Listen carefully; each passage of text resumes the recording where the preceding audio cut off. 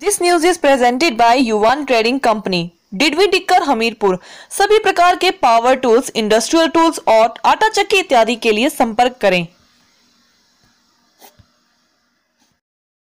जीवन उत्साह न्यूज़ की आज दिन भर की 10 बड़ी खबरों में आपका स्वागत है। महान स्वतंत्रता सेनानी महारानी लक्ष्मीबाई की पुण्यतिथि आज। राष्ट्र प्रेम साहस बलिदान की अनूठी मिसाल महान स्वतंत्रता सेनानी महारानी लक्ष्मीबाई की पुण्यतिथि पर आज नाहन में महारानी लक्ष्मीबाई पार्क में कार्यक्रम का आयोजन किया गया।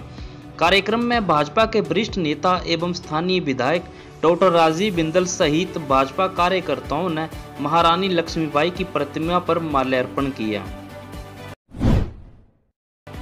चपरासी की सरकारी नौकरी छोड़ शुरू की औषधि पौधों की खेती। दुर्लभ औषधि पौधों के संरक्षण और खेती के प्रति ललक में सई कोठी निवासी लोबी राम ने कृषि विभाग में अनुबंध पर चतुर्थ श्रेणी कर्मचारी की पंद्रह सौ रुपए की नौकरी छोड़ दी। वर्तमान में लोबी राम महाराष्ट्र, किन्नौर, पुणे, दिल्ली, कोलकाता, बेंगलुरु में फार्मा दवाई सहित अन्य कंपनियों को औषधि पौधों का निर्यात कर मोटी कमाई कर रहे हैं। इतना ही नहीं, प्रदेश सरकार के साथ मुख्यमंत्री जयराम ठाकुर के समक्ष मनाली में 8 करोड़ का एमयू भी साइन कर चुके हैं। मुंबई के युवक से पकड़ी चर्स। कोरोना कर्फ्यू की आड़ में नशे की तस्करी को अंजाम दिया जा रहा है। कुल्लू पुलिस ने भूंतर के साथ लगते सियोंड मोड़ पर मुंबई के एक युवक को एक किलो दो सौ उनसठ ग्राम चर्स के साथ पकड़ा है। आरोपी टैक्सी में सवार होकर नशे को मुंबई लेकर जाने की फिराक में था। इससे पहले ही कुल्लू पुलिस ने उसे दबोच लिया। आरोपी के खिलाफ पुलिस ने एनडीपीसी एक्ट के तहत मामला दर्ज किया है। स्कूल शिक्षा बोर्ड ने प्रमोट किए एसओएस आठवीं कक्षा के विद्यार्थी। दसवीं कक्षा के एसओएस परीक्षार्थियों की तर्ज पर हिमाचल प्रदेश स्कूल शिक्षा बोर्ड ने आठवीं कक्षा के एसओएस के विद्यार्थियों को भी प्रमोट कर दिया है।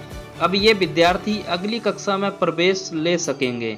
जानकारी के अनुसार हिमाचल प्रदेश स्कूल शिक्षा बोर्ड के तहत परीक्षा के लिए राज्य मुक्त विद्यालय के तहत 703 अभ्यर्थियों ने पंजीकरण करवाया था।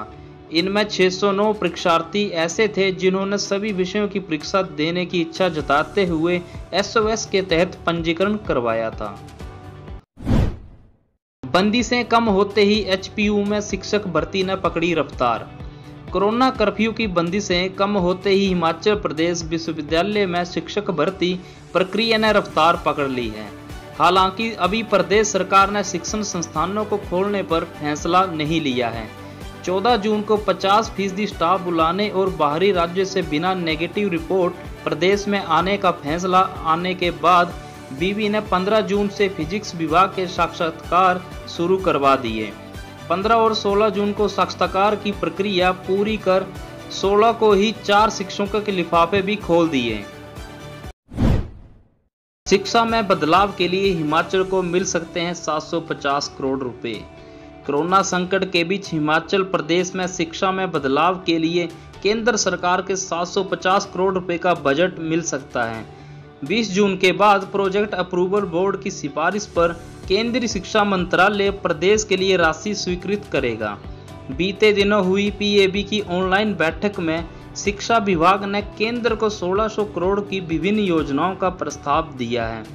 विभागीय अधिकारी ने बताया कि इस वर्ष करीब 750 करोड़ का बजट मिलने की उम्मीद है। पालमपुर में एक युवक ने शादी का झांसा देकर महिला के साथ किया दुष्कर्म। उपमंडल पालमपुर के तहत पड़ते एक गाँव की महिला ने साथ लगते गाँव के युवक पर शादी का झांसा देकर दुष्कर्म करने का आरोप लगाया है। इसको लेकर शिकायतकर्ता ने पुलिस थाना पालमपुर में शिकायत दर्ज भी की है। महिला की शिकायत के आधार पर पुलिस ने आरोपित युवक के खिलाफ कार्रवाई शुरू कर दी है और उसे पूछताछ के लिए थाने बुलाया जा रहा है। ऐतिहासिक रानीताल तालाब में बड़ी संख्या में मरी मछलियाँ। जिला मुख्यालय नाहन के ऐतिहासिक रानीताल तालाब में आज सुबह भारी संख्या में मरी हुई मछलियाँ पाई गई। सूचना मिलते ही नगर परिषद ने मरी हुई मछलियों को तालाब से निकलवाने का कार्य शुरू किया। आरोप है कि यहाँ नगर परिषद ने आधा दर्जन कर्मी तो तैनात किए हैं, लेकिन साफ़ सफ़ाई के अभाव में तालाब में गंदगी फैली है।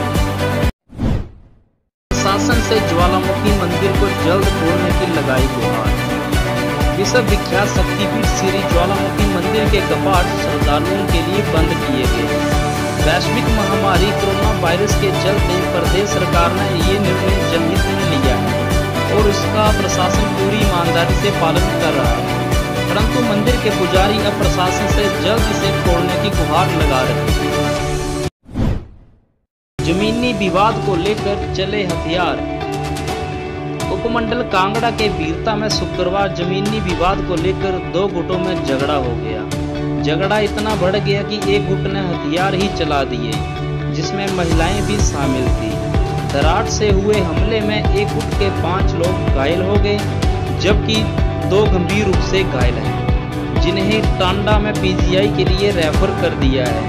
हमले की वारदात से गुस्साए लोगों ने बीरता चौक में चक्का जाम कर दिया है।